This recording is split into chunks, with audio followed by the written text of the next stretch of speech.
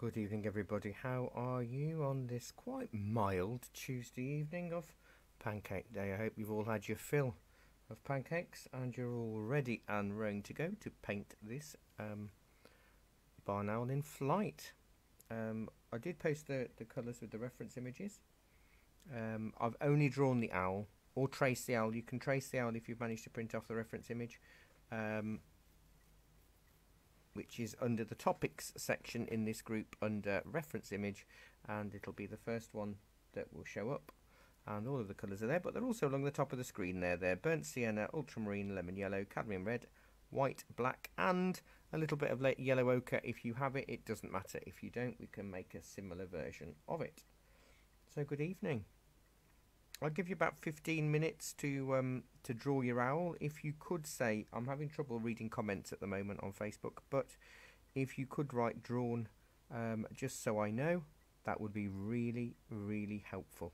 Um, you can also see the colours on my plate almost just poking through. If I just lower the bar now a little bit, you can see there black's just shying away a little. There he is on the screen. So I hope you had a good weekend and I hope you're quite excited. I know we've got quite a few new people joining this evening, so welcome.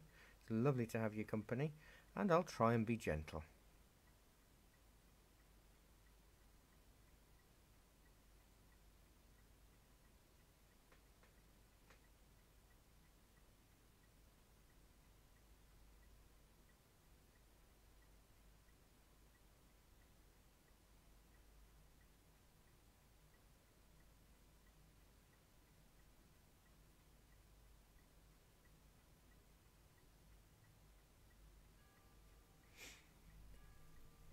Ooh. We're going to do quite a bit of blendy bits today, but nothing, um, because the background's out of focus, so we want to create that sort of back out of focusy feel. Um, I'll try and explain everything as if you've never done acrylics before. Because um, I don't know, some of you might never have done acrylics before, or you might just fancy the subject. I don't know. Um, I'm sure you'll let me know.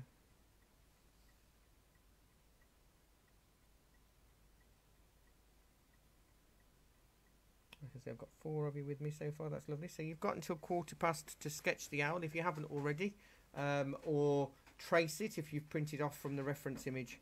Um, then uh, that might be your best bet if you're not really that confident in drawing. I've got a cup of tea by the side of me.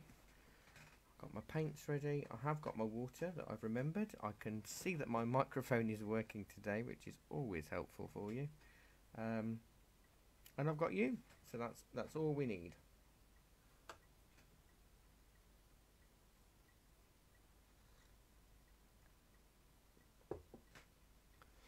I haven't done all of the markings on the owl. Um, I've just basically drawn where everything is because if you're familiar with acrylics, you know full well that uh, you end up painting over most of your lines, but um, we'll try not to do that too much today.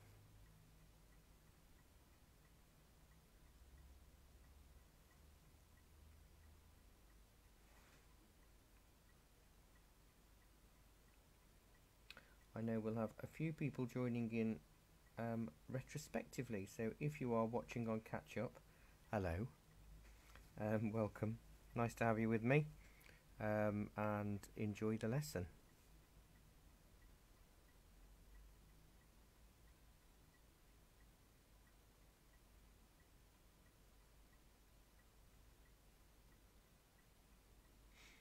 So I had a disastrous morning with pancakes because I'm having to have gluten free and oat milk. Uh, because I've had to change my diet.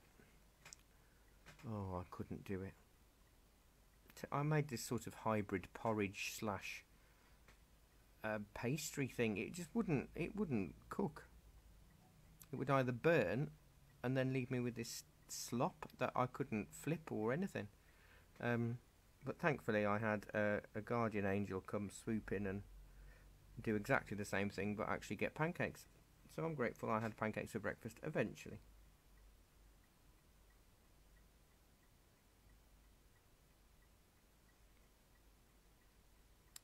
So if you're new, are you excited? Are you scared? Are you nervous? Are you nervous-sighted, as I call it? Um, a bit of everything. A bit of nerves is good.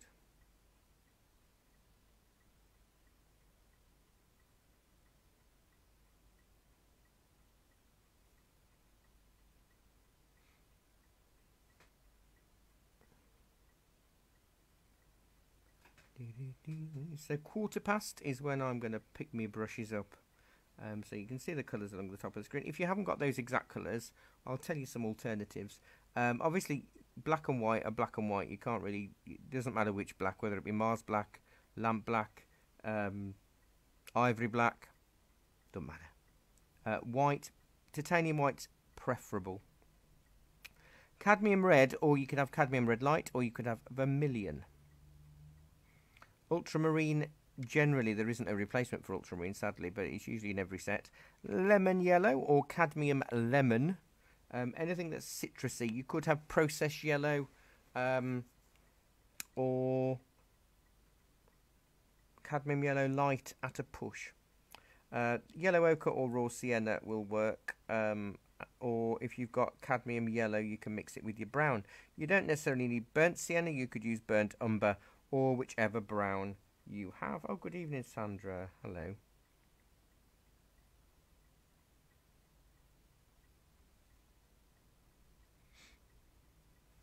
Oh, I haven't finished. These back wings have gone a bit, there we go, a little bit darker. I can see them now.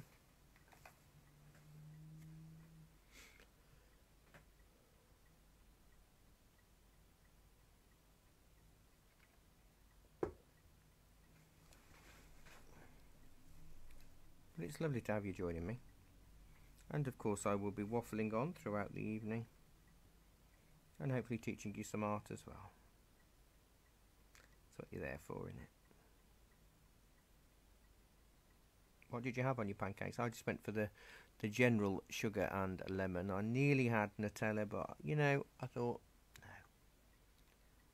I'll um, I'll stick to the lemon and uh, lemon and sugar today.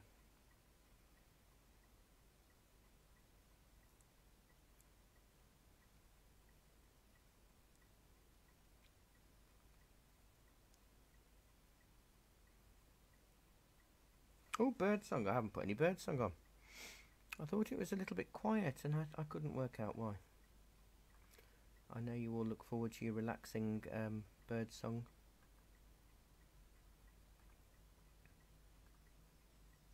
Just to sort of give you a nice calm environment. Although I doubt there'll be that many birds singing with a big barn owl swooping in. Um, they're probably hiding. So if you need to see a close-up of the reference image, there we are. So it's quite a light picture. Obviously we did the drawing last week and it, it, it would turn out, obviously because we're just using grey, it, it could look like an evening scene, but actually it is quite daylight. You can see that the light is shining through the feathers on the wing.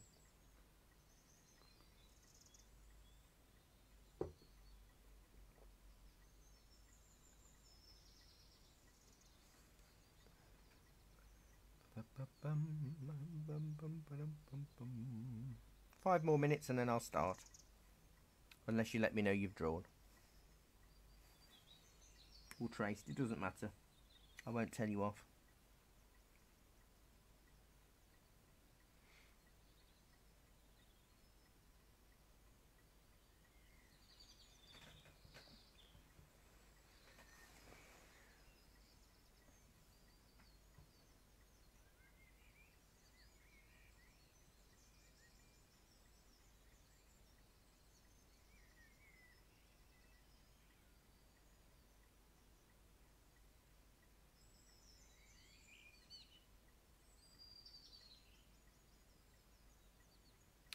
A beautiful bird.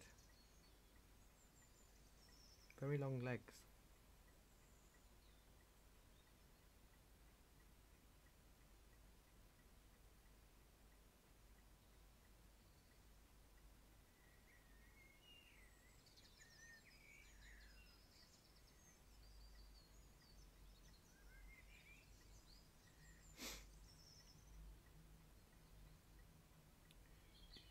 I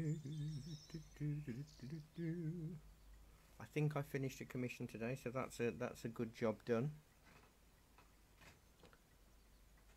And I don't know why I was putting it off and putting it off, and I I, I had to really kick myself up the bottom today and, and make myself do something. I think like everybody, I've been feeling a little bit flat, and, and I'm I'm putting things off that I don't need to put off because I'm at home, so I can do it. Um, but I'm still not doing them. So this commission, I thought, no, I really need to get it done. It is an urgent commission. I was supposed to do it on Sunday, but I was teaching in the morning, and then I didn't feel like it in the afternoon because I'd already done some painting. Um, but I did it. I've got to send it to the person that's ordered it, send a photograph just to check that it's okay, it's what they want, or do they need to tweak it, and then I can pop it in the mount and then pop it in the post. So that's good. I've got one more to get done but there's no rush for that one really. But I'll probably try and get it done before the weekend if I can. Because I want to try and have an, a weekend off an actual weekend off. Which will be the first time in a year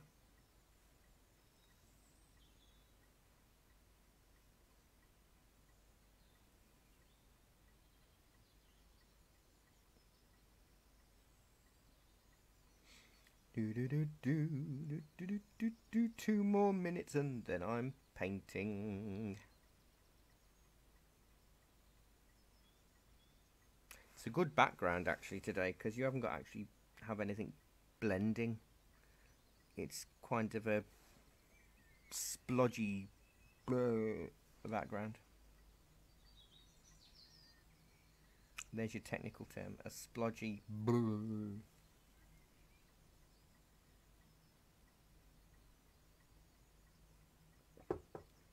Don't ask me to spell it.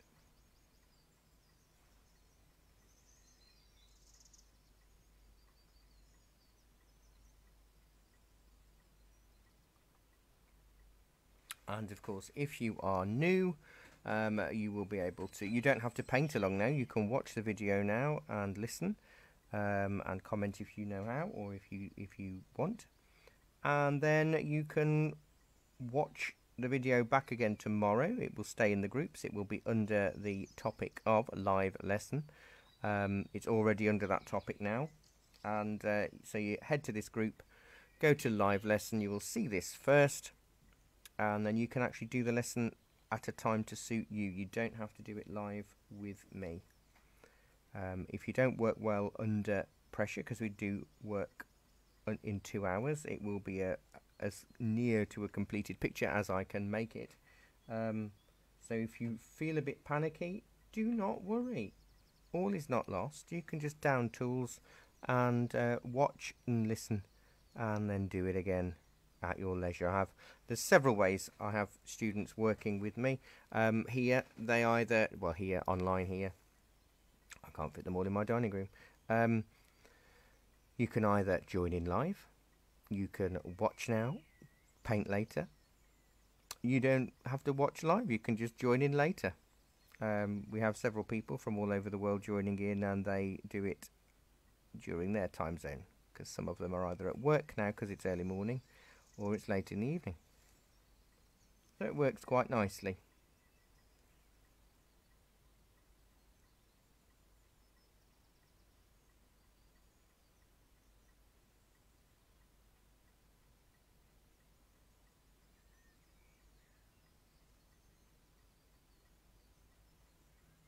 Right, so it's quarter past. I am going to be um, doing my doings. I'll probably be using now. It's a tricky one.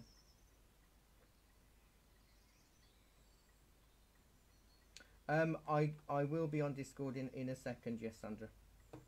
It's because I I can't see comments on my screen, um, so I'm having to dip in and dip out on everything at the moment. Um, bum, bum, bum, Let's get you on Discord so you can talk to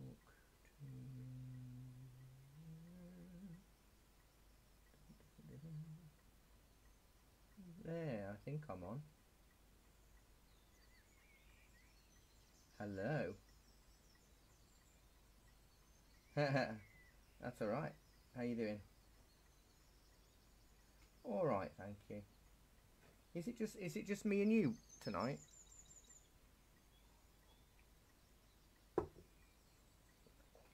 Wonderful.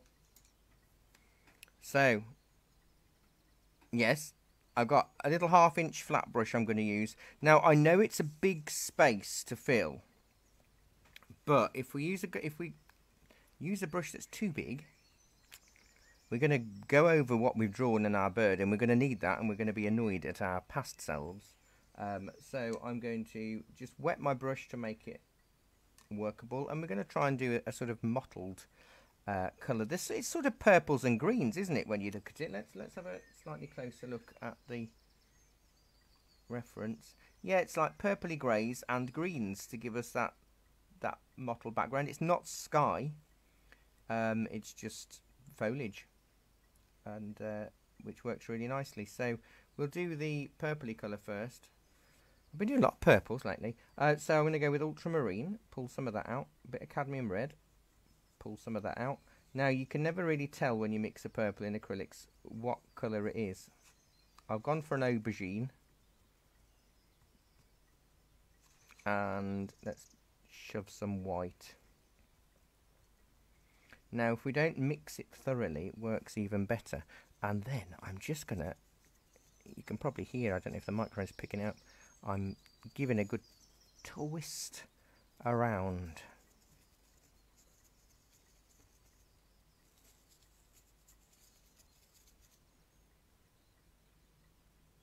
Ah, thank you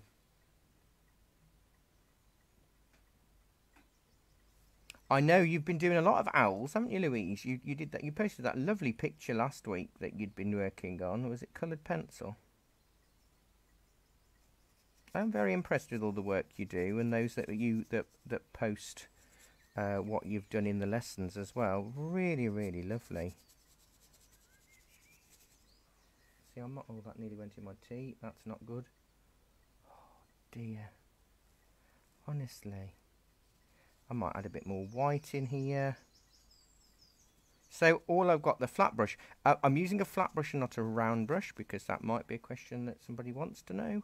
Um, because it gives me um, a better shape, believe it or not. If I was using a round brush, which is got a pointy end, it would start to um, give me lots of V shapes. Whereas a flat brush gives me really random shapes, which is what we're after today. And you can hear how scratchy I'm going as well. I should be leaving the space where the green bits are, but it doesn't really matter because it's acrylics. We can paint over it. That's what I love about acrylics. Just shove it on. I am having to be a little bit careful around the bird. Just cause maybe I should be using a little brush, but I'm, I'm not going to. I know, how terrible is that?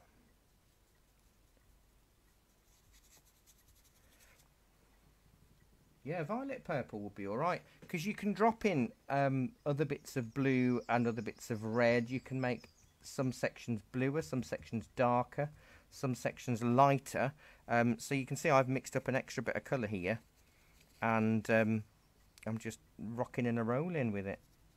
If your paint's dry underneath, don't matter.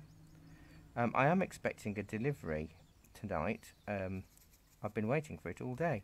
Um, and I think you have until 8 o'clock, so who knows. So if my door knocker goes, I will have to nip out. It's not very far away, it is only in the next room. So you can see how I'm blending it into the dry area is I'm just stabbing.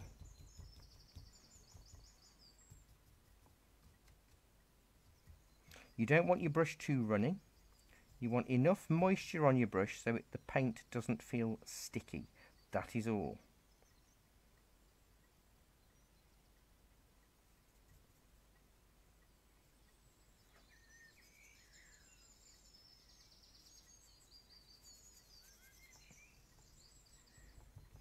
I do, you know, I, I use canvas paper nearly all the time.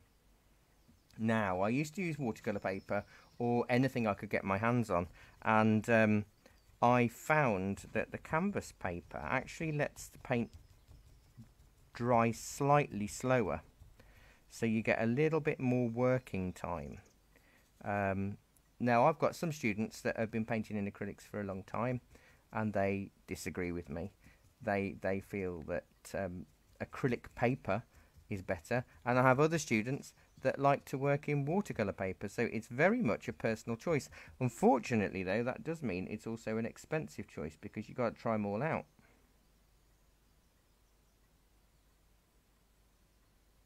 Oh, did you find your nib, Sandra? Yeah.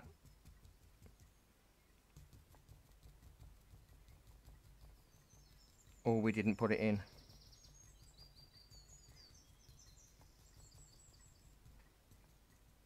I will double check. So if you message the shop tonight after class and just say that, and then um, I'll I'll have a record because I'll I may I may forget and I don't want to forget. I'm su surprised I just remembered now, to be honest. So um, so if rolling and twisting doesn't work, jabbing and stabbing might.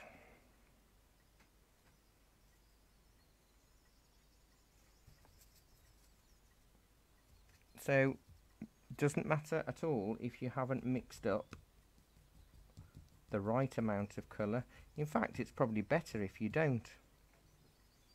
Because I've got blue bits in here, I've got red bits, I'm going to have some white bits and pinky bits. I don't want too much red because I don't want it to look like the owl's already gone in swoop for the kill and there's bits of blood gone everywhere. Because that would be a little bit gory, we don't want that.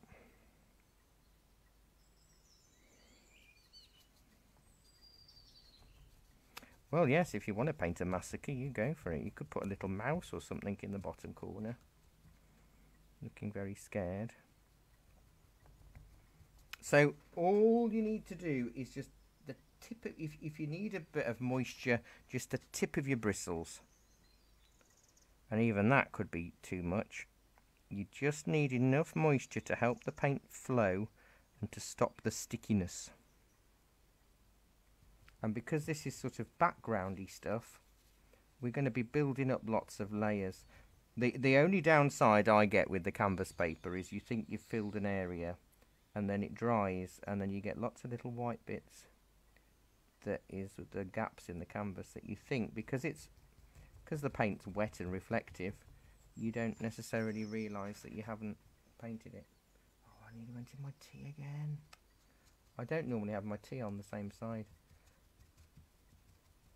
and that's going to be my excuse. But clearly I'm not going to try to um, clean my brush in my tea. Although I'm using non-toxic paint tonight, so uh, I should be safe. Should I? Uh, should my brush accidentally uh, find its way in there? So I'm going.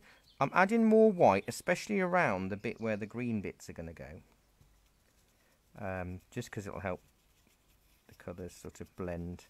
I'm even putting it over some of the green areas that I haven't put in yet. So don't worry, I'm not. I haven't added any green before anybody panics. Oh, I haven't added any green. That's fine.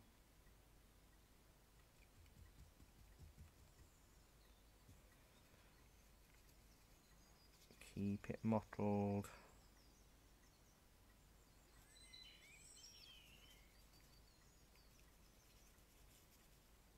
So it's we're not aiming for clouds or anything. This is what's really cool about this because this isn't a sky, um, and the green stuff that we'll add randomly in this will work. So it, it almost um, becomes uh, a bit of a glaze. The green stuff will. Um, let's mix a bit more white in this so I can come over. Oh, I need a bit more white in that. Did you have pancakes today, Sandra?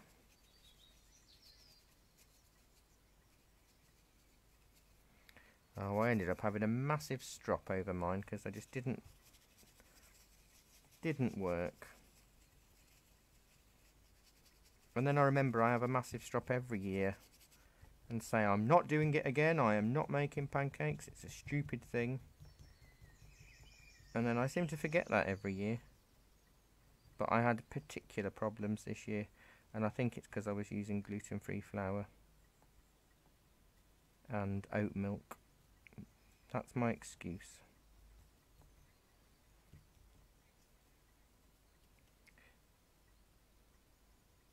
Yeah, it, it just wouldn't cook properly. So um, eventually, after after seeking help, I managed to get five. Um, but uh, I think I, I, I, had enough batter to feed an army to start with. So never mind. Right, so I've got that purpley stuff all over the place. A nice mottled purple. I do like purple. Cadmium red and ultramarine give a nice mid-tone purple because ultramarine is purple based, but cadmium red is orange based. So because one is not purple based, you get a mid tone. Gosh, my tea's gone cold already. Never mind.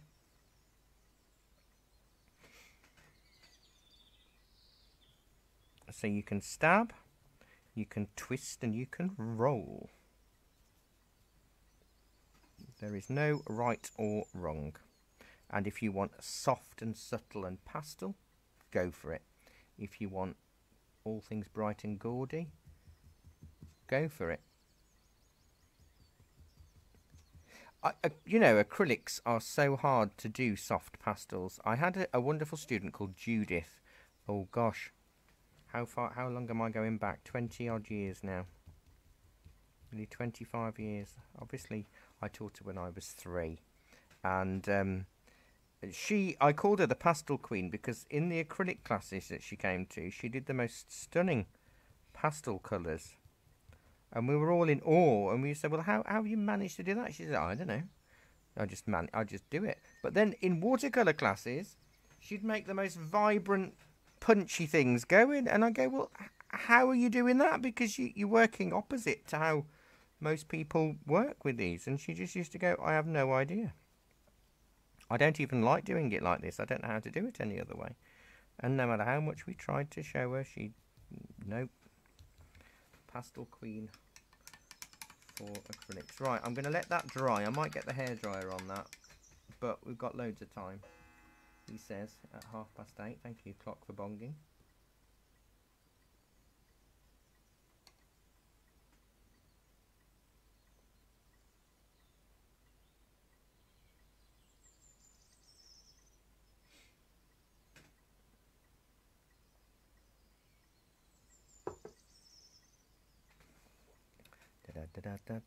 You see, what will happen with acrylics, for the benefit of anybody that might be a bit new with it, is that you have a finite amount of time to work with them. When they're wet, you can blend and do all sorts. When they're nearly dry, you end up lifting off the colour, uh, revealing your paper or your surface colour. So you've either got to do it all hell for leather while it's wet, or do as much as you can, and as it starts to dry, leave it. Then come back when it's dry, or have a hair dryer if you're impatient. So there are, there's an area here around his feet that is still wet. I must have had a little bit too much water on there, and there's a patch up here.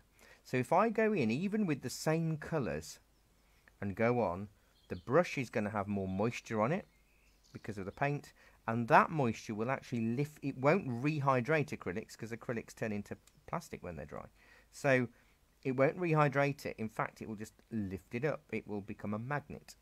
So if if you're finding that you've got as you're swirling or stabbing you're lifting off the color rather than putting color on it just means that your undercolor is drying.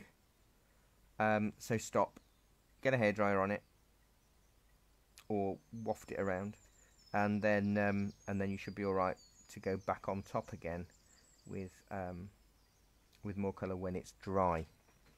So that's that's the tricky bit. Although it's exactly the same with watercolours. If if you um, if you work with watercolours in the same way that you can blend and do all sorts of exciting things while it's wet, um, and you can do all sorts of exciting things when it's dry.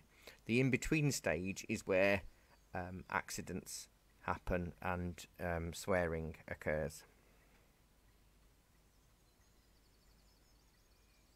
I mean, you can you can swear all you like if you're on home at Facebook because I can't hear you. But I can't. You, I'm sure you don't swear, son. I'm sure you don't swear. I, I, I do in the car and at home. Um, I, I found it very difficult when I used to work in primary education. You can't swear at all, obviously. So you really get good at filtering your language, and you very rarely swear ever. Uh, but I've been out of the classroom now for uh, the the kiddie classroom for a long time, um, and I try not to swear at any of you lot either. To be fair, um, but it is weird how you you lose that filter. If I went into the classroom now, I think I'd be really um, I'd struggle to not lose my temper, or I'd struggle to have the same level of patience or the same level of uh, lower profanity. Um, and just stick to crumbs and ups and blimey, um, and sugar and dear. Um, so yeah, it's interesting. I'm just going to quickly blast the hairdryer on this, so it'll just be slightly noisy for a sec, because um, it's not drying. Oh, my plates off.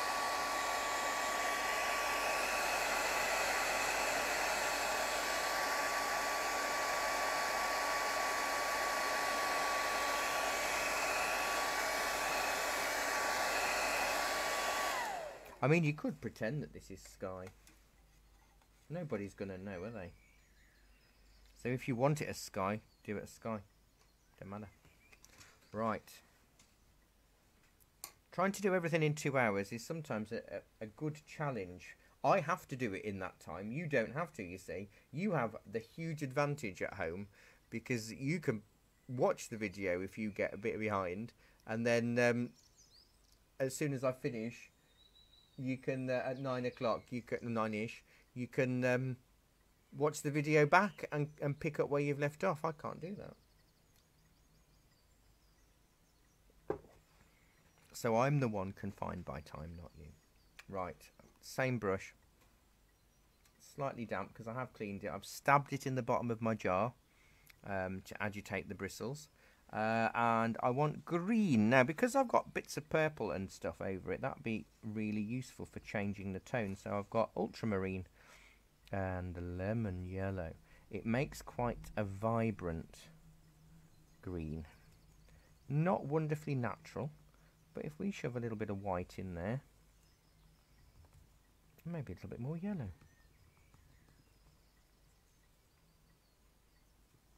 Okay. Interesting.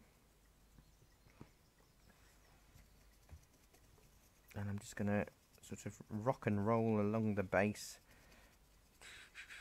And I'm going to drop in varying tones in here as well. So I might make uh, some a little bit more yellow.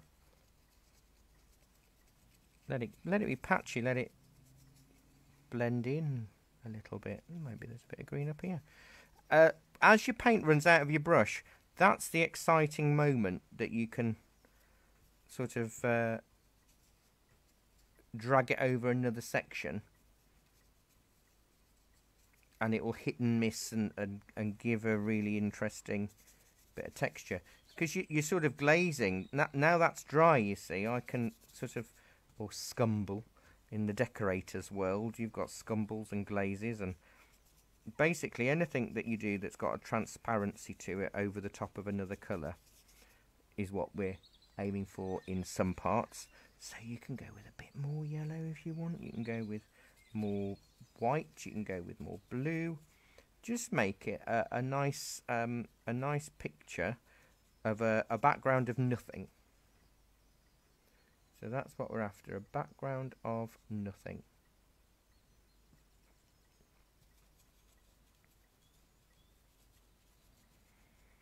Uh, twist. See if you notice, I'm rolling between my finger and thumb. Is uh, is the way I do it, but that's not the the be all and end all. You can you can you can scrub and you can stab as we've as we've found out. So just play about with it and, and see how you get on. So add one bit of colour, shove another bit on your brush and add another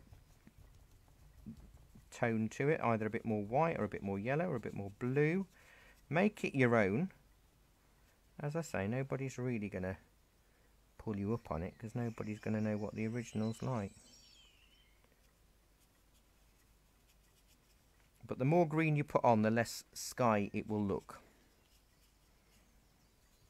And I might use some purple within the green once the green's on. So if, oh, just painted over my desk. Let's, let's rub that off because it is an antique. Although, who's going to tell me off? No one's going to tell me off because it's my house. Future Barry. Future Barry will tell me off. I do this all the time. I'm, I'm, I'm forever living for Future Barry. Um, because I, I used to do or not do things and get really annoyed with myself for not doing things. So I used to think, back past Barry Past Barry is is is a really annoying person, and I wish you'd be considerate for me because I've got to go to work, and then I come back to work and things haven't been done. So now I'll do I'll do things for future Barry, like make the bed, or uh, when I wash the bedding, I will do it straight away as soon as it's dry, or or put the new sheets on. Um, so future Barry doesn't come to bed and have to make the bed. It's a really nice way to think, actually, because you become considerate to yourself rather than um, just do what you want when you want. I'm just adding a bit more purple on my brush while I've got it green. And I'm twisting a little bit in and in and out there, and you get a lovely, a lovely tone. It's neither yeah, I I'd got a little bit, but you can always go in with a bit more blue and a bit more red without cleaning your brush. And you get beautiful tones, you really do. Because it's neither grey, it's neither brown, it's not green. Who? What is it? We don't know. Do we mind? Not really.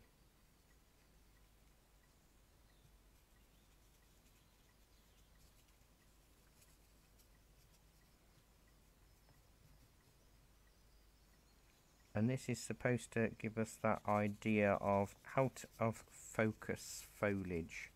That is what we're aiming for. Um, you may not have realized I don't know. Uh, but that is the aim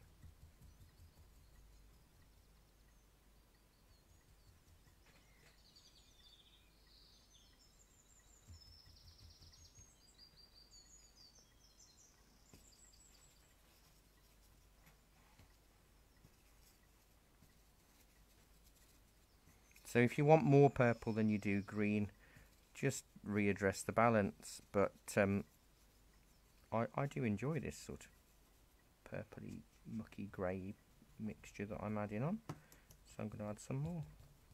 So as long as we're done by, I don't know, quarter to. Or no, actually, we can we can spend a bit more time on this because um, that'll give us an hour then to do the owl. So really take your time.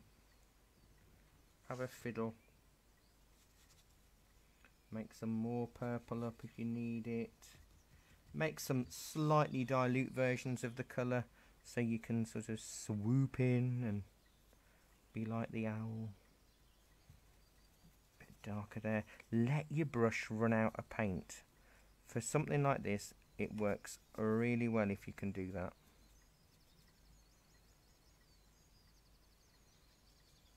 That running out of paint means you can transfer colour somewhere else and it'll just be nice and soft.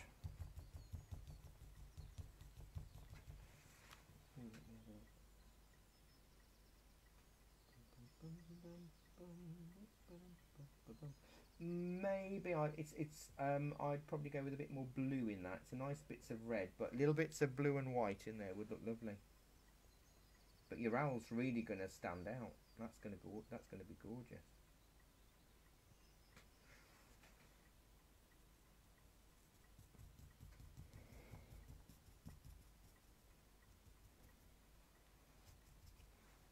I've almost covered all of my purple green now.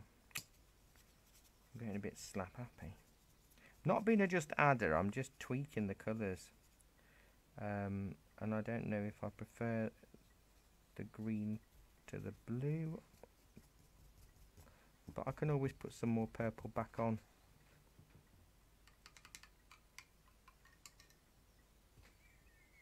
Let's make a little bit more purple up. Some lighter tones.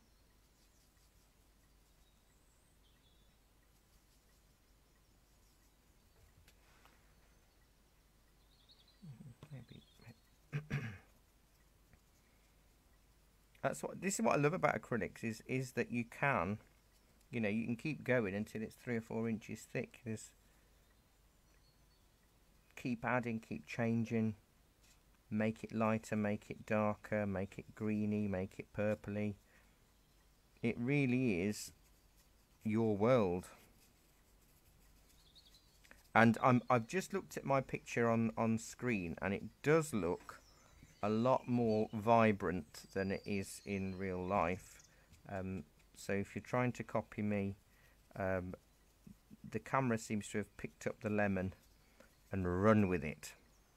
Uh, whereas for me it's a lot softer, but I can show you how to, to dull the colours down if you so wish. But it is not as vibrant as that. Blimey, I've just seen it on the camera again. Eek.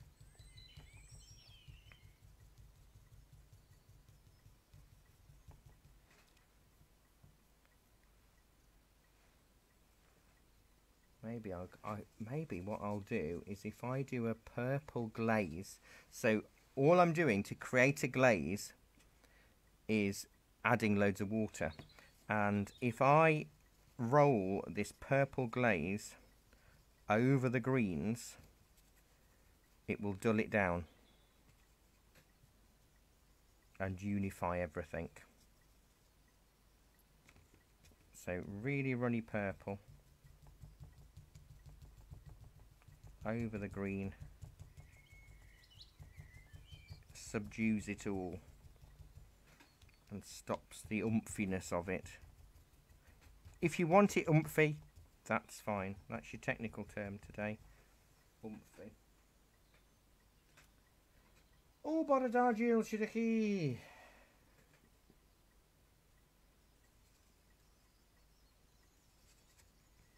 Yeah, she just come for a quick look, I bet, to see uh, to see what we're up to.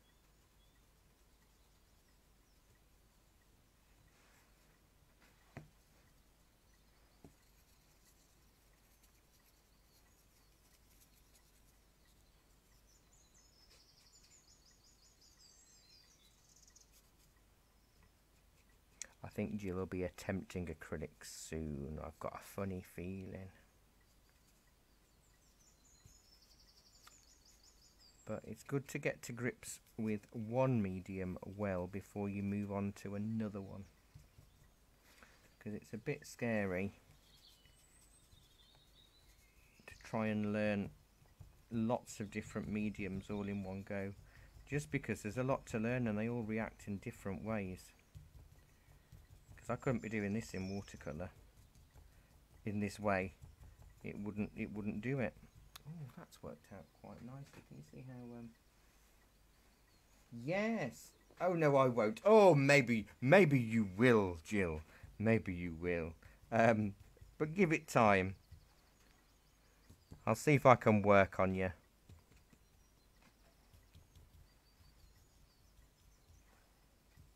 Get some shop sales in acrylic paints. Now that has muted it a lot. On the screen, it still hasn't, but I can't I can't mute it anymore. Otherwise there'll be nothing left. Let me get the hairdryer on it, just see if that makes a difference.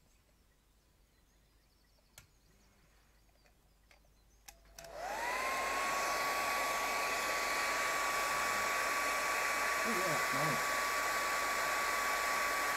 I like that, nice bit of blending in the sky with the green as well.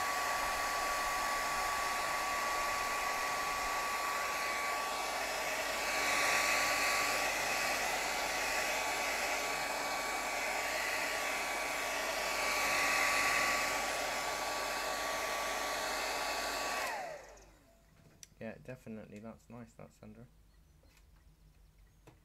Good blending.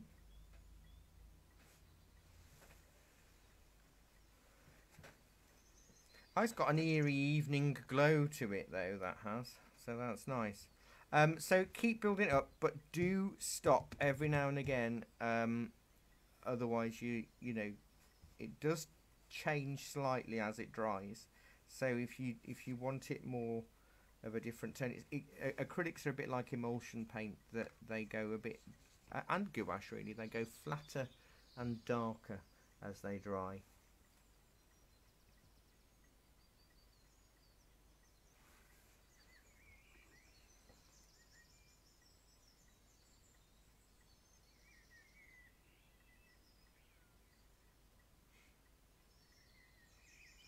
So the aim is that our background is out of focus. The owl and some of the twiggy things, um, that's almost like dry cow parsley. I, I forgot what the real name is of that stuff. Um, will be in detail, but do not rush. Um,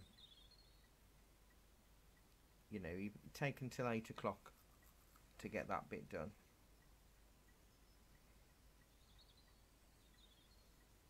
I won't be using that big brush again, I'll be using um, fiddly bits.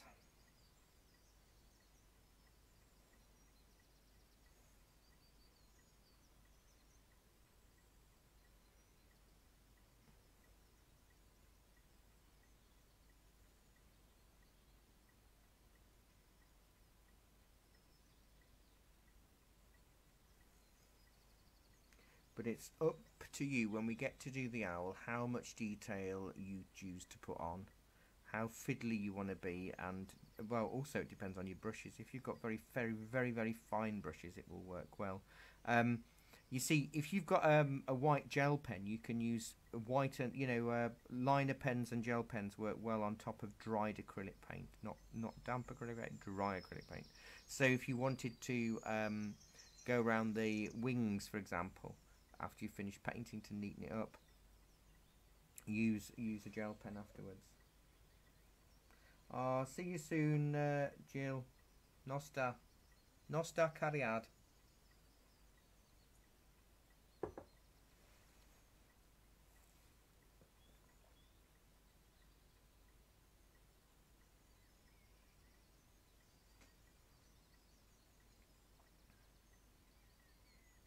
Yeah, that's turned it down a lot more.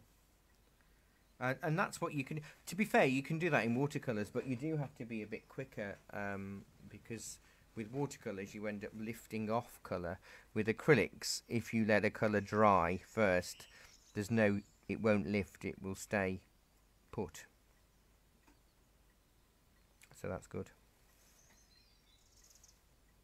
What I might do just for the time factor, as I say, it's me that's under time pressure, not you, is I may put in a couple of the, the twiggy bits now using a thin brush. A long thin brush, a rigger or a liner brush or something like that. Um, and I'm going to go with a bit of yellow ochre, a little bit of white, and I think a tiny bit of black. Literally a pinhead of black. You don't you don't want too much and you want the paint to be fluid enough but I don't want it to stand out that I want the owl to stand out that's that's the the biggie there Mr. Mr. Owl or Mrs. Owl I've not asked so you want your paint to be fairly fluid and then you roll your brush around in it and that gives you your point back and then you can really start to um, create branchy twiggy things. This is also a really good way to cover up anything that's gone wrong. So if you've got something that really hasn't worked, don't tell anyone. Just stick a twig or something in front of it. Um, I'd go uh, a little a little bit more black. You want it sort of like a browny grey colour really, but not too brown. Um, oh, that went green. I think I picked up some green there.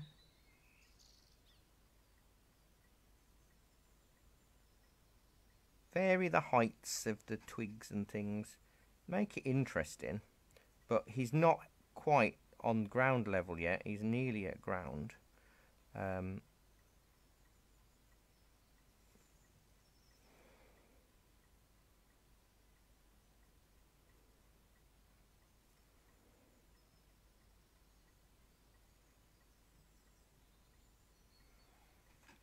but we want these to look like plants, not trees. Um, that's that's the crucial part. You can add a bit more white if you want to bring it out a little. And the reason why I'm putting yellow ochre into this section is to balance it out because the owl is going to have yellow ochre in it. And um, you, you want colour harmony. What would happen if we didn't put any of that in? Nothing, nothing major. The art police won't come and tell you off. But what will happen is, is it just that the, the owl will jar slightly because he'll be made largely of, of colours that aren't present anywhere else in the picture, like the burnt sienna and the yellow ochre, um, which, you know, is, is no major thing, as I say, but it'd be better if if you can put a bit in. So we'll have a bit of black, we'll have a bit of yellow ochre, and you can do some little dotty tops over some of this cow parsley.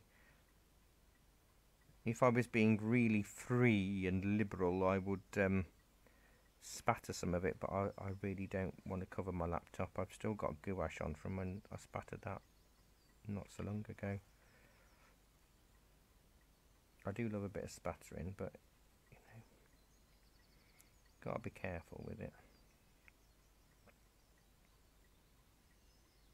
If you wanted to stick a little mouse, you'd do that right at the bottom, or just a tail.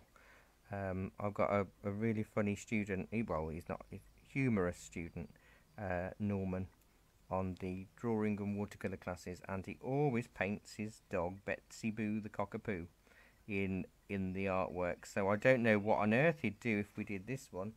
Um, hopefully the dog would be chasing the owl, not not vice versa. So this is just lots of little dots on the top of the branches. You can add more branches afterwards if you need to. But it makes it feel more um, twig-like than trees. We don't want trees.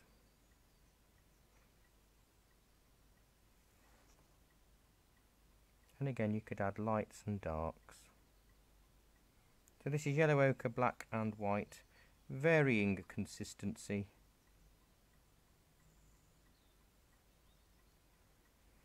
Now I'm not doing too much in that middle and it will look a little bit obvious if I don't do something. I might add a little bit more white. Let's have a few paler bits.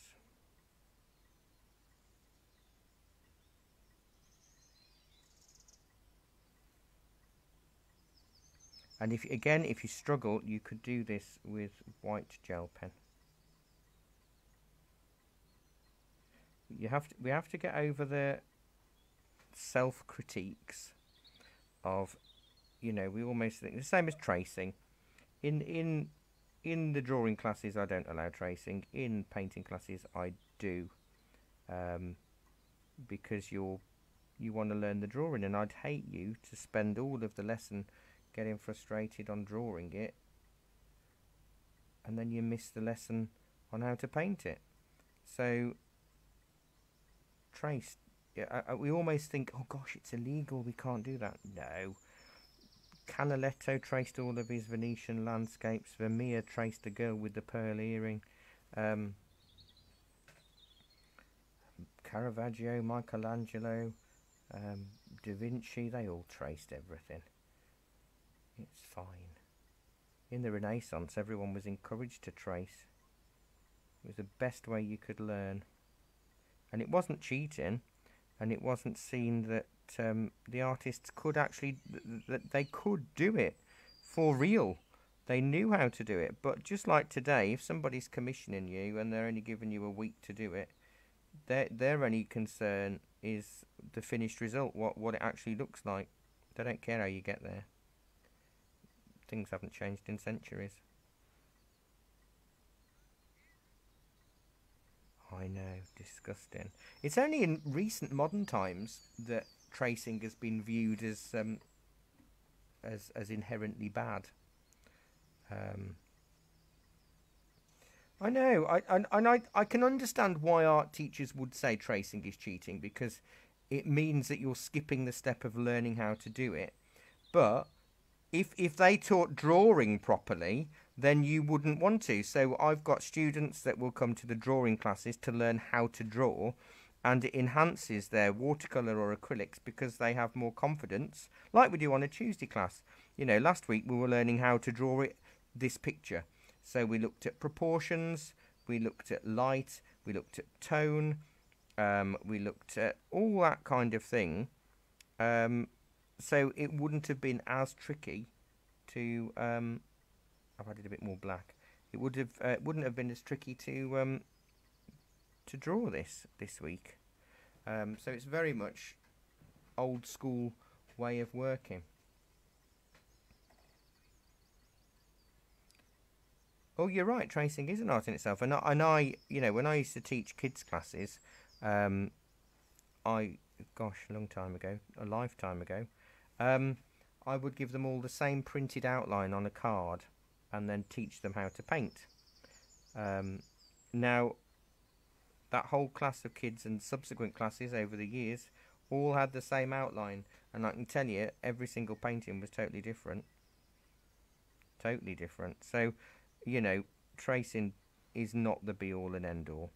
Um, and if it helps you get a little bit ahead and stops you from feeling anxious, then I'm all for it. I'm going to see what that looks like once the owl's in. I'm going to stop for now and then I'm going to make myself a drink um, and then come back in five uh, to see and paint the owl. You see, if the owl looks too white, I might use a white gel pen to do a few more twigs or something on there to bring it out a little. I don't know yet. It's hard to it's hard to call with a painting until it's um, until it's finished and then you can balance it out a little bit more. So um, I'm going to stop for five um, and I'll make a drink and I'll see you all in a minute.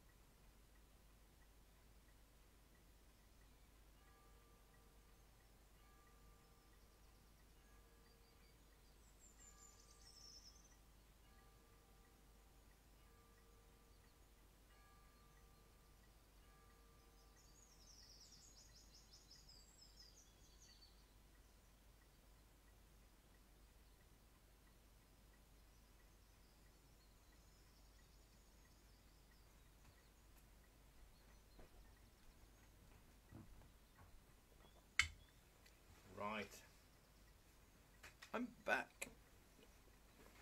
Now that's dried, I can really see how dull those. I'm going to show you the gel pen. So this is the the white gel pen, the Uniball Signo, or Signo Broad, um, and it works well on watercolors. We use it a lot for watercolors. It is our saviour, and it saves a lot of masking fluid and all of that. But it also works for pen work, obviously, and and acrylics but it has to be dry. I was just keeping my eye on it while I was uh, making a drink, and I, I was watching these colours just settle and darken. And I thought, hmm, I think I need. Again, I'm not. I'm not even being too careful about where I'm putting it because they. It could be highlights on the colours that are already there or it could be brand new branches. Um, it is light fast um, and it is pigmented ink, so it should be um, it should be fine. You do have to be careful with certain uh, elements of it. It, it. If you used a brush on varnish, for example, it, it could run, but a spray varnish is fine. I say that because I've had instances where it has run, but then other times it hasn't. Right, let, us let that dry for a sec, and then we can look at our owl. Hard to believe that over an hour has gone of our class today already. My word. And um, next, the next two weeks, I'll just let you know the next two weeks, um, we are doing it's sort of building-ish. It's um, Chester city walls, you know, the old Roman walls of Chester, in the snow. So it will be a really interesting one to see the difference um, between the draw. Oh, I can show you the drawing that we did last week. For those of you that weren't in the class last week, I can show you our little owl.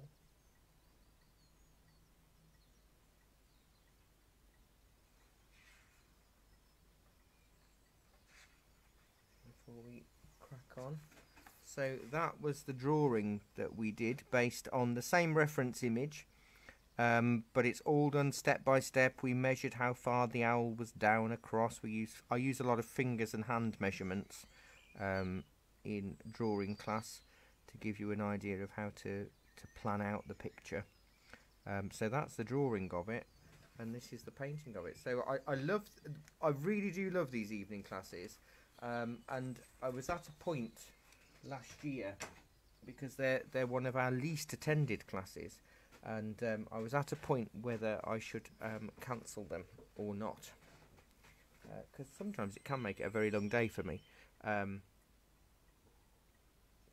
so like twelve to fourteen hour day, but I enjoy doing it so much because I love having the drawing one week and the painting next that I'm keeping them going, and they and they're gradually getting more popular, which is good.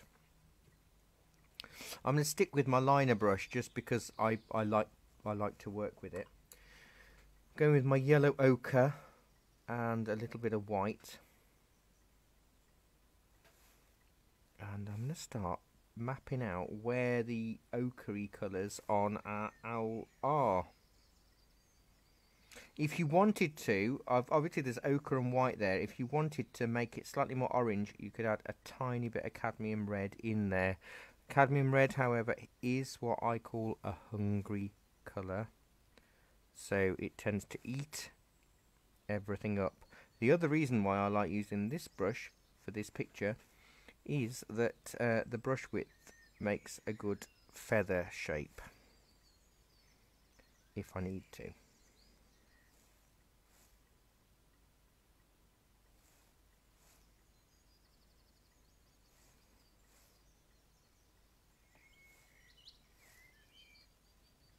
Yeah, it is. Well, yeah, not for me. I'm a ginger, so it's not my skin tone. But yeah, a a, a non-ginger person's skin tone. Yeah, sort of an orangey pink, I suppose it is.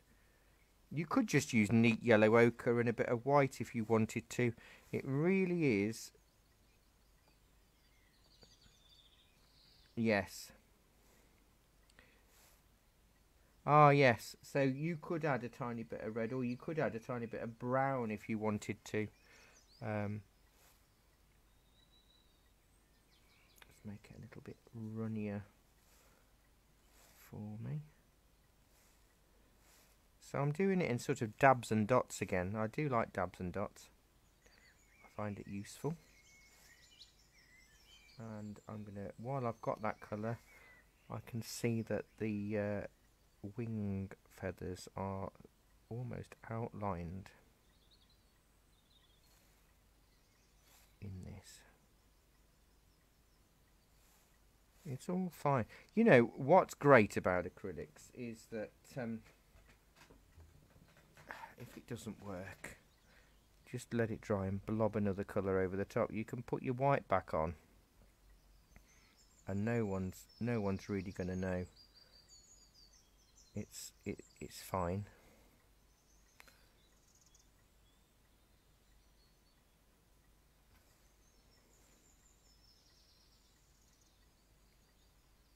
Same colour, but more water.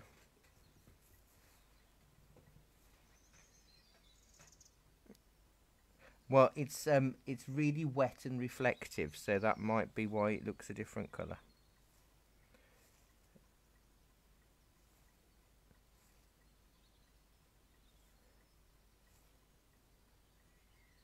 Very dilute. You you want to help it sort of flow a little bit.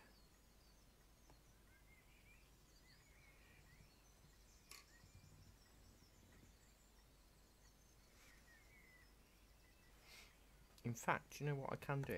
I can zoom in now on just the owl. I keep forgetting I can do this with my camera. And be very flexible and arting, like a proper art teacher.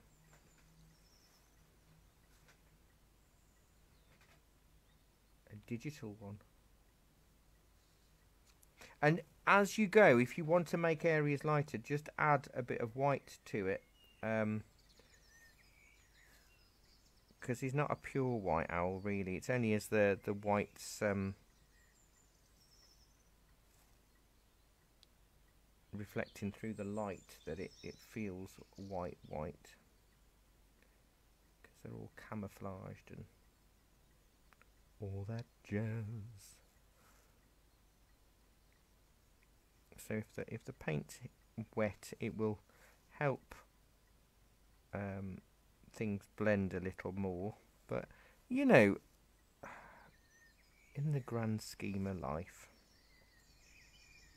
don't be hard on yourselves. We're in the middle of a pandemic, and we're here painting an owl in the sky. You know, there's we're doing all right.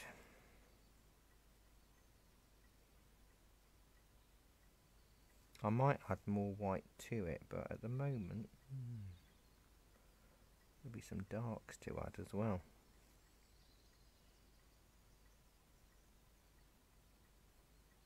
You can see the sort of um, stripy bits under his tail there.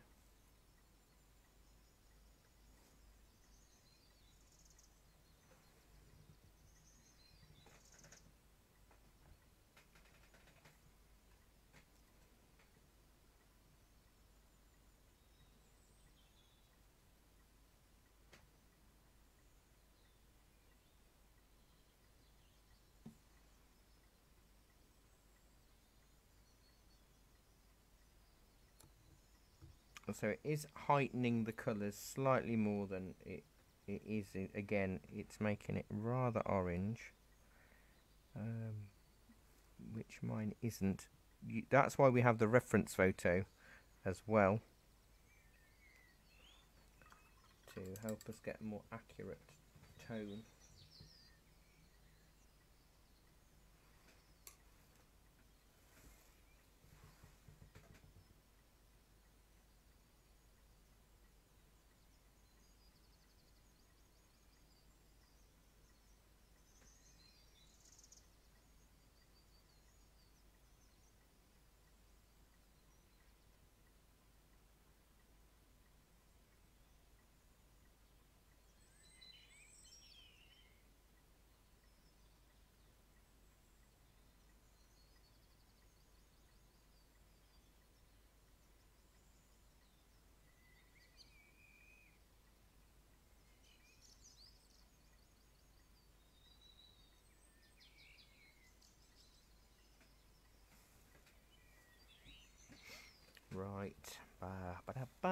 There's very little white on the actual owl itself, um, which is why I said, you know, if, if you struggle with...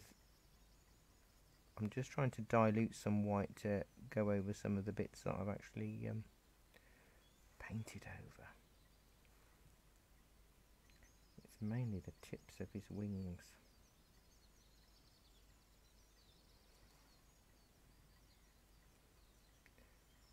But what you can do with it is sort of do the tips and then put a very white wash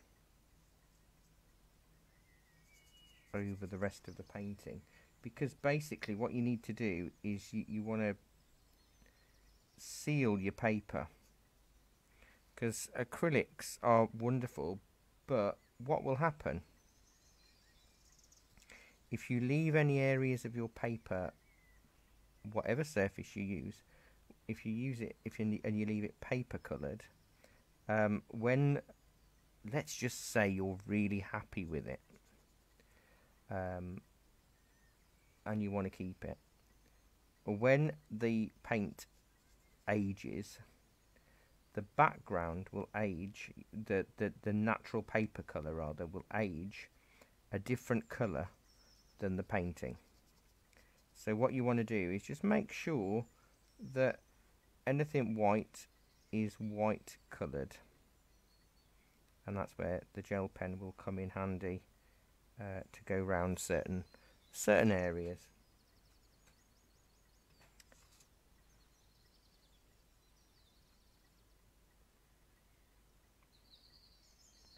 Because the wings slightly grey and the face is slightly grey. I suppose I suppose we'll say grey. Um, and if I'm feeling a bit naughty, I will probably use black and white um, because there is grey flecks on his back. So let me just bring my palette in. Um, if I mix some grey from black and white, never mix it thoroughly you're in control here. So leave um, some bits a lighter grey and some bits a darker grey. And what will happen is you'll get a nice mottle or a marble. And that's perfect for what we want with Mr. Owl. Because you might have some darker bits in there as well. Even better. I'm ignoring his face for a bit.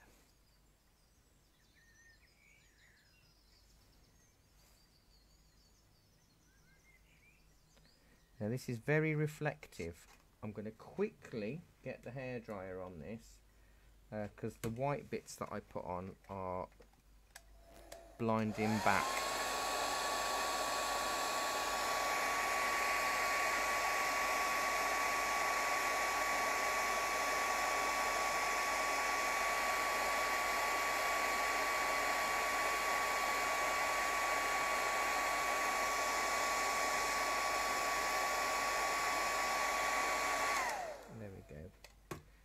This sort of grey colour will help mark out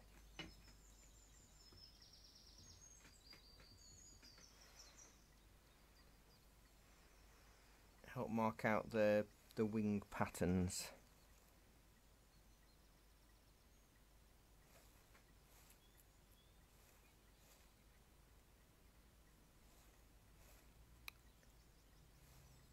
lemon yellow and black make a nice um, olive greeny grey, don't they? No, we want black and white where where possible.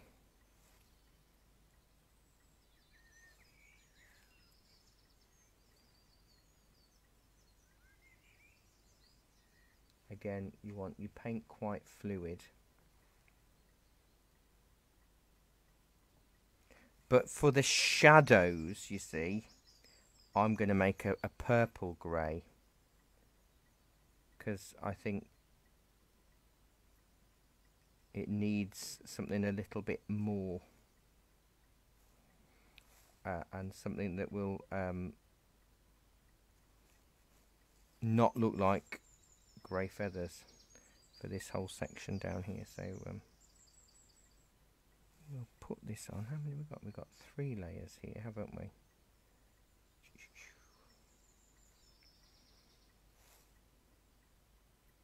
It is all about observation when you're painting.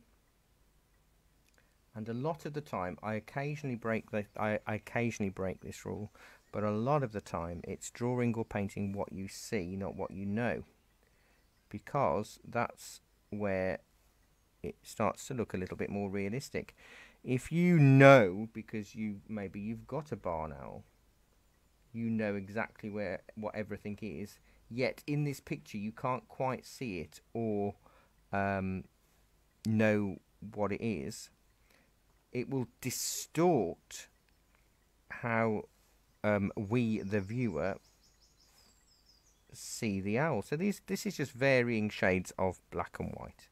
There's absolutely nothing else on my brush, but you can see my brush has got several versions of that colour on the go at the same time.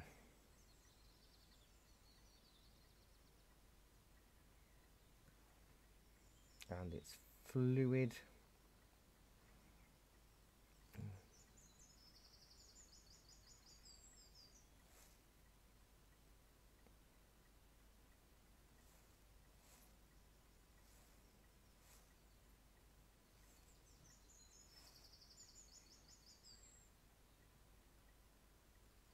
No. Not yet.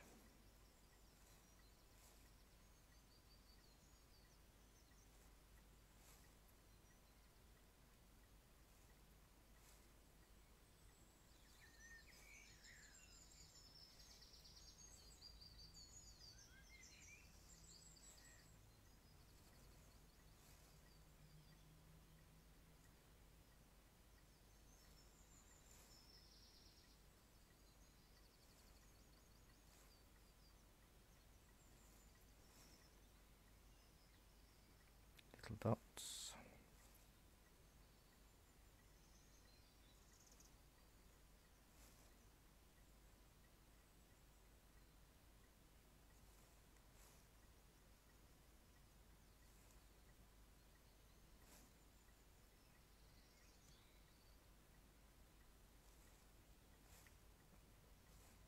So you might find using um, a white gel pen or a black liner pen uh, gives more shape to the bird. And it is very much dependent on your background. If your background is very pale you might find going um, darker around the wings will help. If your background is very dark you might find that going round the wing lighter. But you don't want to outline it as such, but you do need to give a little bit more definition in places. And I think that will that will help immensely. Um, but there's loads to do. We've got over half an hour, so we're, we're doing well. So don't panic.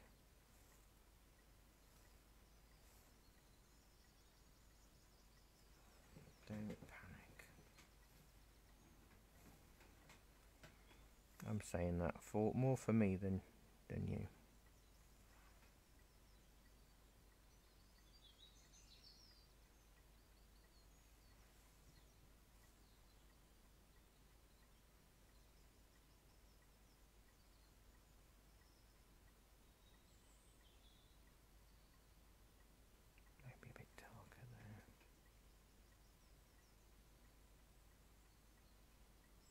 See, what, what we're doing is we're, we're putting the colours on, um, but there's no shade. We're just putting the colours on, which is fine. And I'm going to do the same. I'm going to use this grey within his eye socket, I suppose, um, and stroke it out over his nose, over his over his nose, over his beak, and maybe add more white to it as um, we progress. While I've got the grey on there so I'll add more white. I think that's a bit too runny though. Um,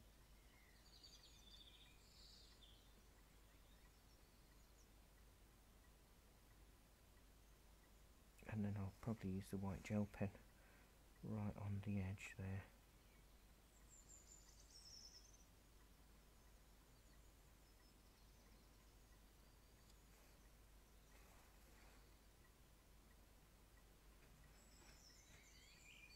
No, I haven't done the eye first today. Um, because it's basically just going to be black.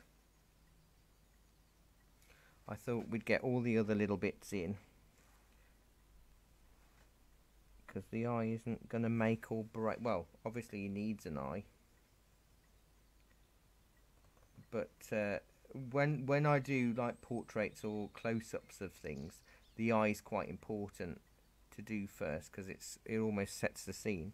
But with um, our little owl here, little hoot, I think um, I think we'll be okay. I don't want to go too dark, you see, with the darks. It's such a fine on his face. It's such a fine line between getting shade in and getting a grey face and we, we don't want we don't want a grey face.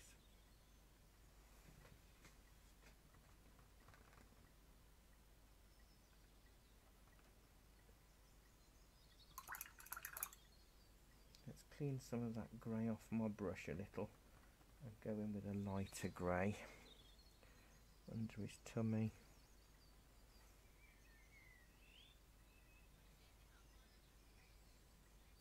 Um, what round the mask thing? No, I'm going to do that in a very dark brown. I think later on because it's um it is more of a browny frill. I'm going to call it a frill.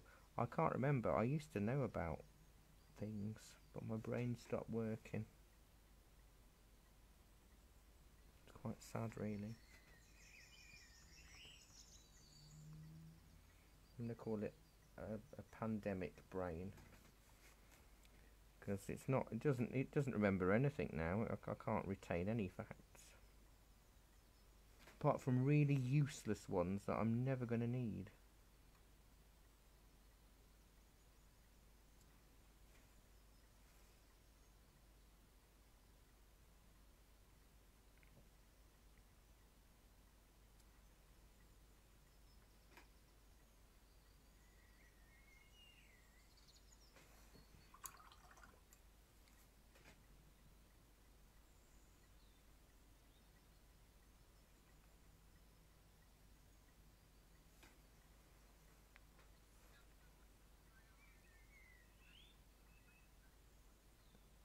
Oh. Yeah. So I've added a little bit of black now for the eye. I'll put a white dot in it later.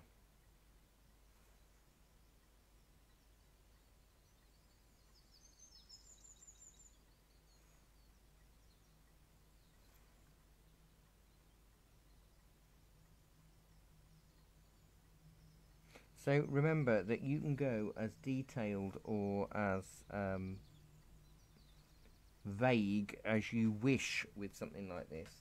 Um,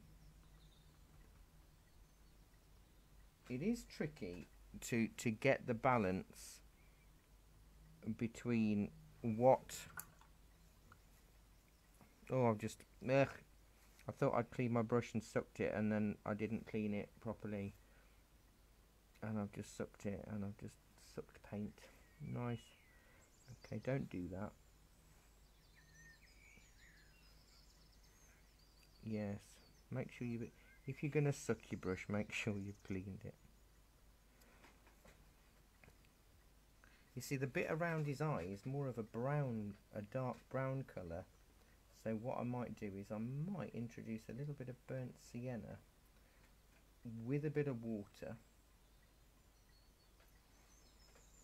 And uh, pop that in. And that's quite let's dry the brush off a little bit because that's quite dilute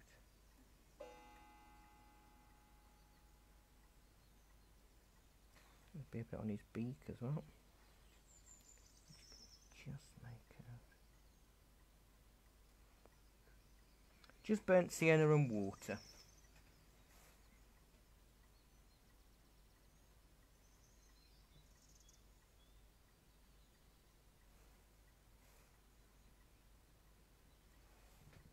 And then if I add some of that burnt sienna, again, really small amounts, burnt sienna with a tiny bit of black, or burnt umber on its own, very much dependent on what colour you've got, then I can use that for little short lines to create that uh, frill around him but I'm not painting it as a line, I'm painting it as lots of little lines.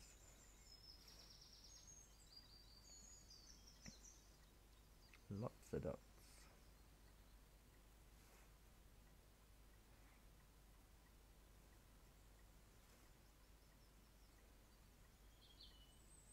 I might add a few little brown dots on his back as well.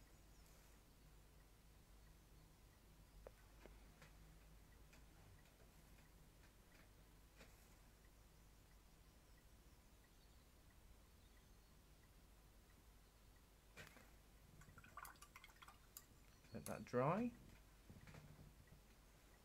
So at the moment his face is very grey, but there are going to be, I will use a white gel pen just to show you again how that will work, or just use dilute white um, acrylic and that will work in exactly the same way. But there's, there's sort of shading and all sorts of things um, to go on. But I suppose while I've got this browny grey colour, could pop his leg in.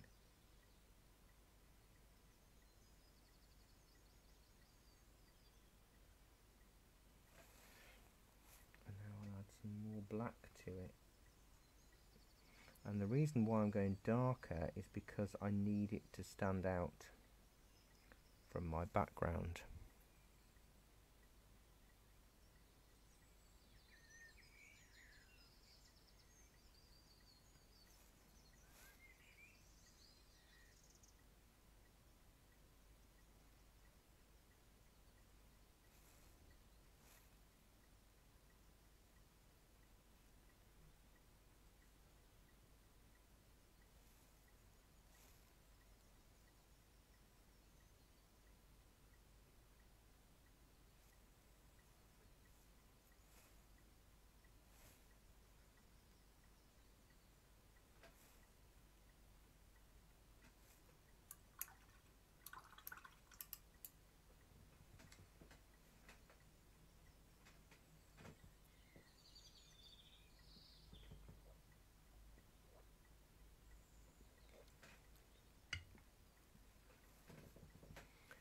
Because I find it better to I'll put some shady bits on then I'll put um, the whites on because then again you can see about the balance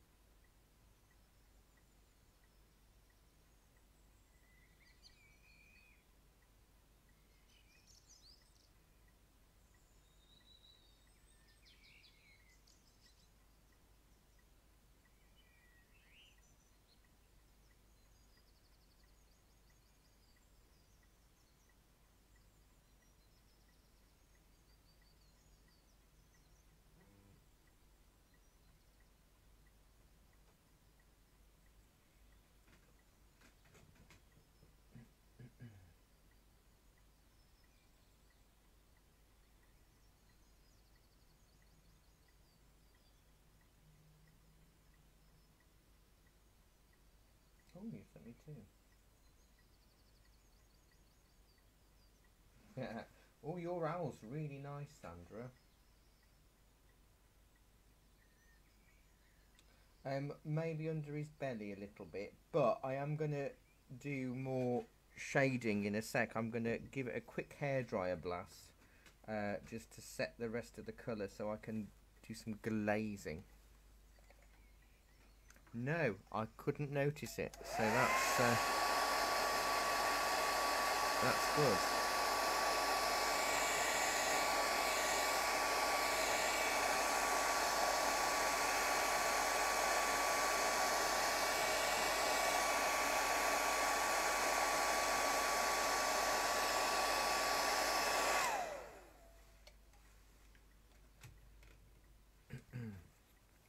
so I'll bring my bring palette in a little bit because I'm going to make a purple grey this time because I don't want it to look as I've said I don't want it to look like grey feathers. So we're going to go with um, red and blue and a little bit of black um, to make a sort of oh that's too much oh, maybe it'll do. Loads of water because a glaze is a transparent wash don't need loads and loads of it but you can see on here this is much much darker. And we can put this on top because we've got colour underneath so it will work really really well.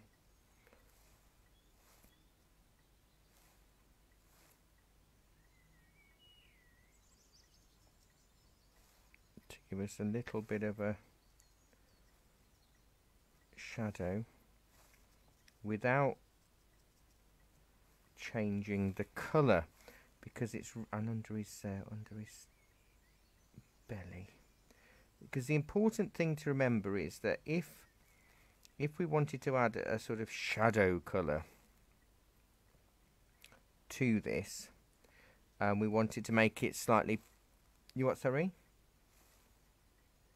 uh, red, blue, and a tiny bit of black, and loads and loads of water. Um, if we were to um, make a, a, a, a, purple or a grey that didn't quite get the colour that we wanted, we'd then add white to it. But the issue with adding white to it is it would no longer be um, the same tone. Uh, whereas uh, here we can mix a bit of water and it gives us the perfect tone and we can make it lighter or we can make it darker and that really works so so well. Uh, it is it's a, it is sort of an aubergine yeah. But really runny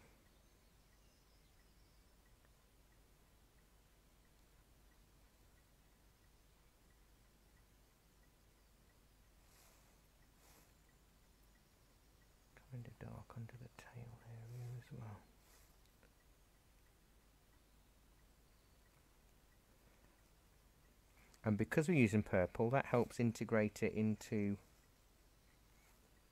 the rest of the picture. So we haven't got weird things going on. It all starts to gel. It's going to look a little bit odd on mine at the moment because it's reflective. Um, no it's purple. It's exactly the same colour as the background actually it's just because it's reflecting the light because it's wet.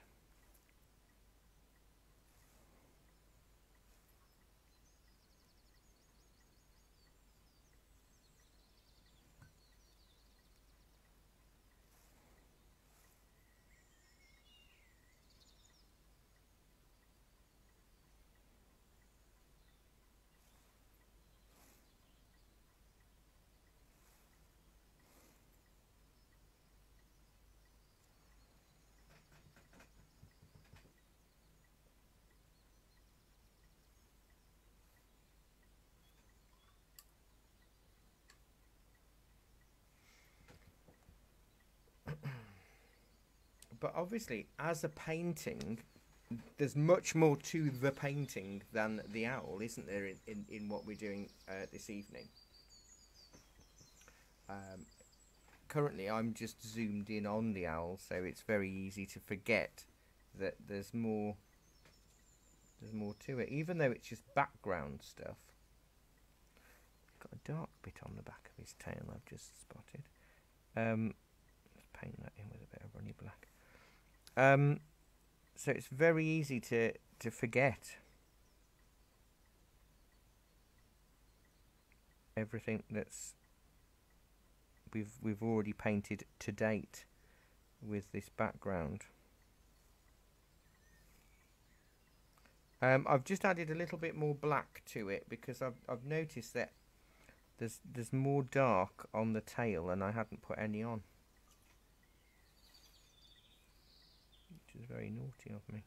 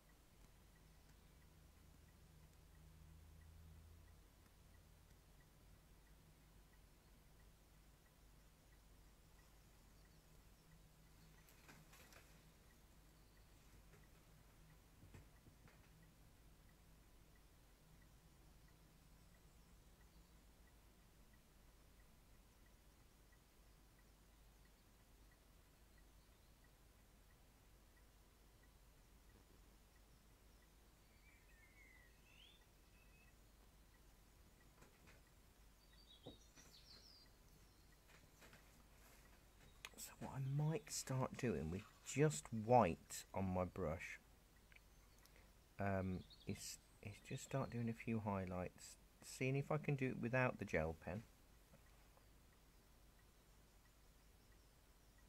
But you do need to make the white quite fluid. But I could do a bit of both, I suppose.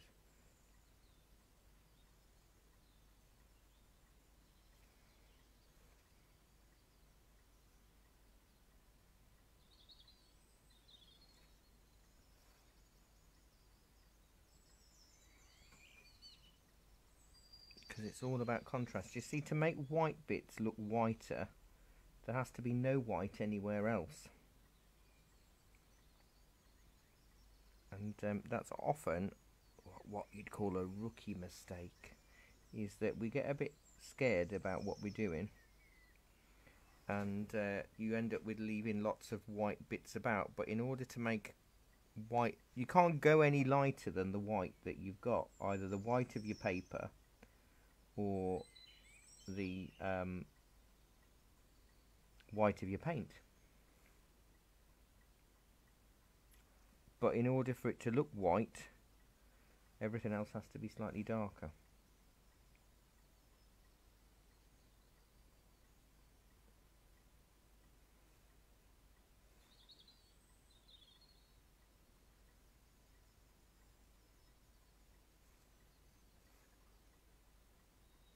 Um, I will go around some of the wings as well. Yeah, I'm trying to, I'm trying so hard to do it with just the brush, but I will probably end up using a bit of gel pen as well. Especially the uh, the ends of the feathers. I really want those to feel so nice and light.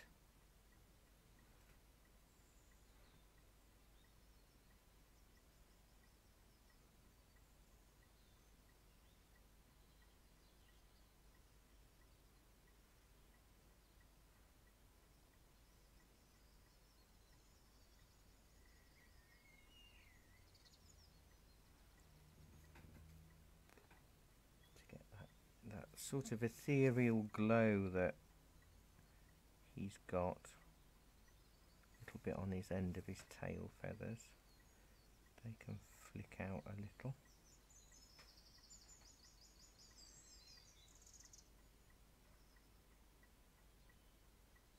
See, if I didn't have the gel pen,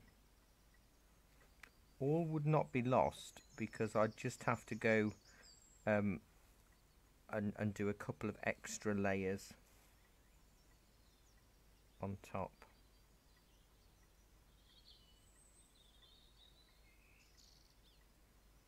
Let's see how that looks.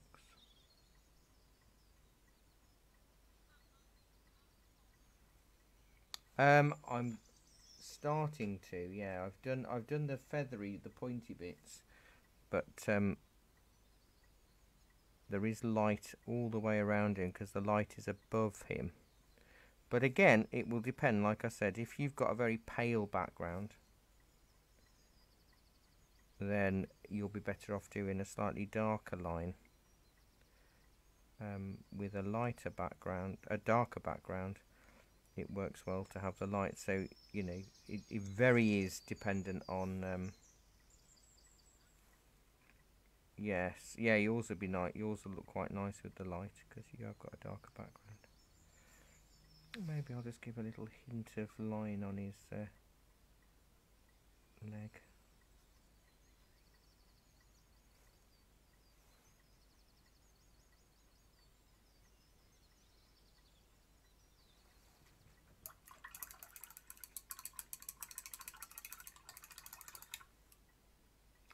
that dry for a minute and then think about uh, if I want to put the gel pen on, where I'm going to put it, and I think it'll be more around the the face and beak area. It's just so easy just to keep fiddling though, and that's sometimes a bonus or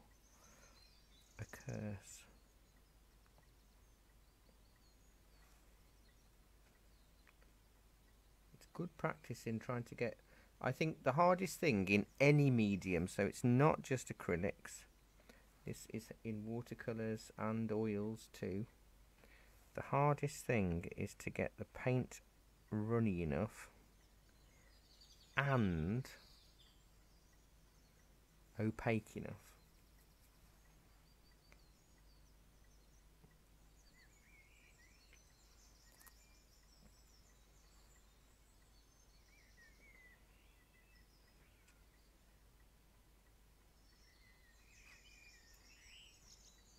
Might find you can get it running really well.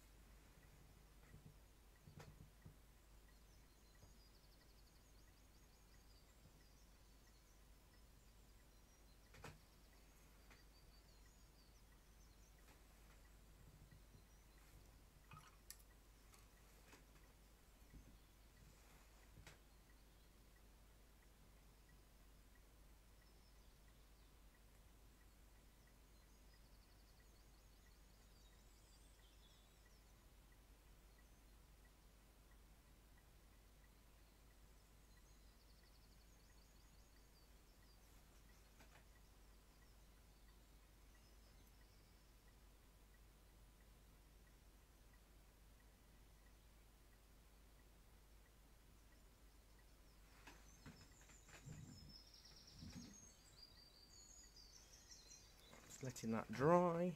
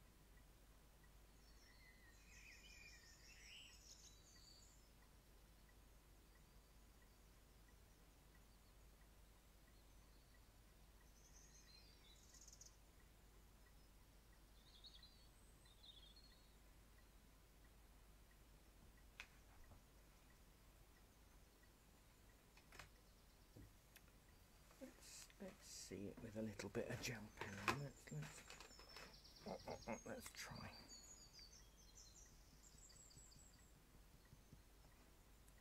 little bit of the eye there.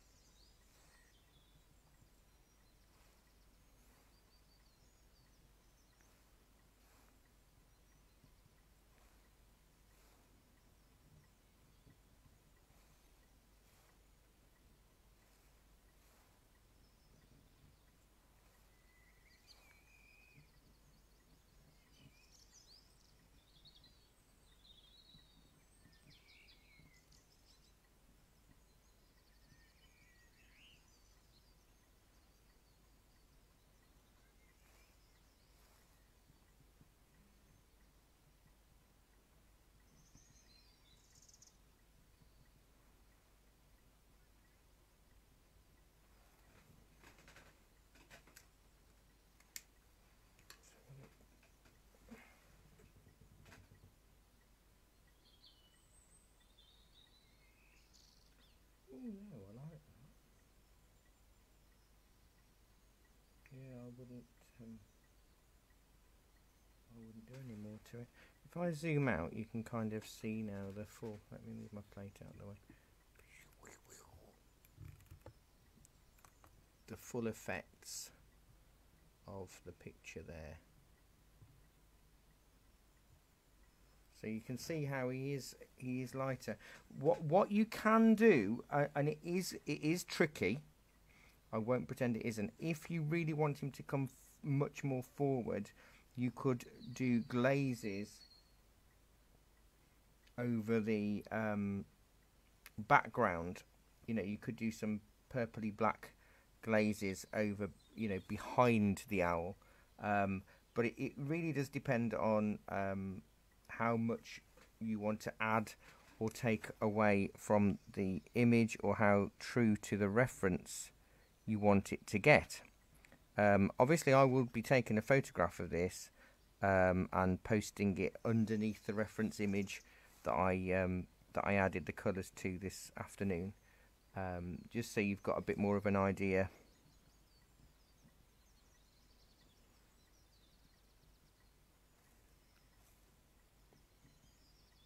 So you can use it as a reference anytime you want.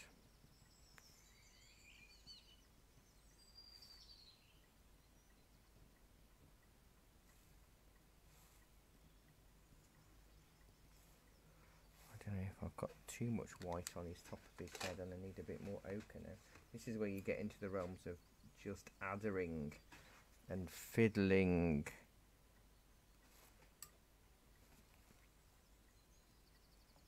Add a bit of yellow ochre to that white while it's damp. That'll work.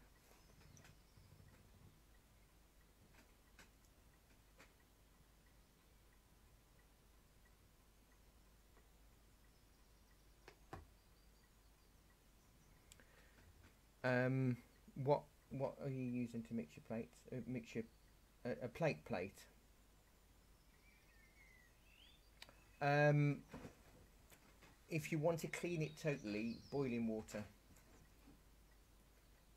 Boiling water lifts off the the um, the acrylics. Yeah, pour boiling water on it. If it's a ceramic plate, it, it should coat with boiling water. So yeah, boiling water will. Um, Oh yeah, you'll be fine then. You'll be fine.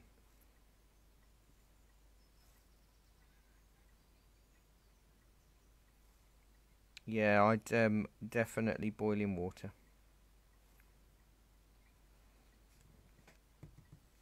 I don't think I want it. I'll let me put my name on it, and that might stop me from fiddling.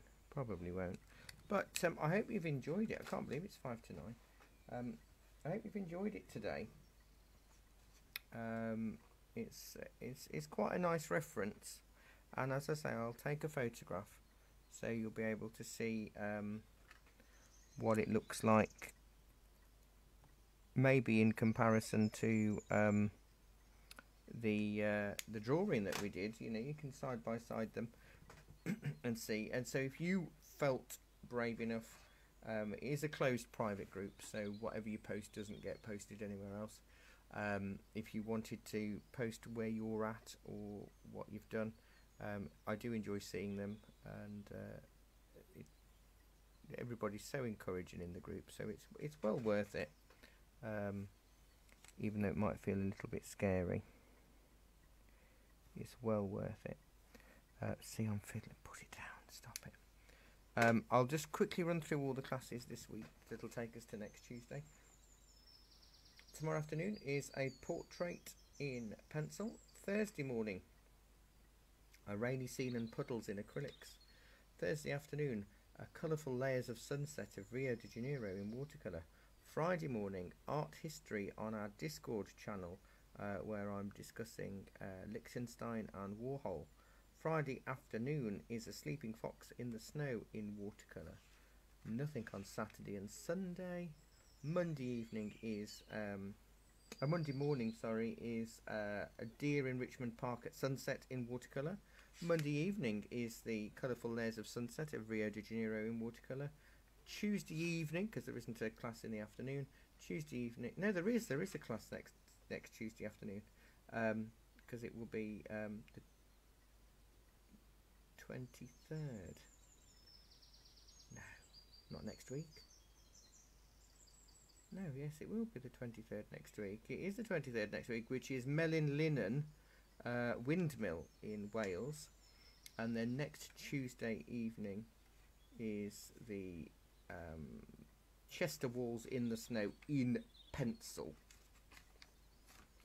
Wow, that's got that's another week gone. Wow. So thanks so much for your company. I've really enjoyed it tonight. Um, I hope you've enjoyed it too. If you've just been watching and you're going to paint later, um, I look forward to seeing what you do. Um, if I'm not going to see you again for a, a, while, do be careful, stay safe, and uh, have a great time, whatever you get up to. Uh, but some I know I will see within the next week. So thank you very, very much, everyone. Um, take care. Thank you for your company, and I will see you all very soon. Bye bye, everybody. Bye bye. Bye bye.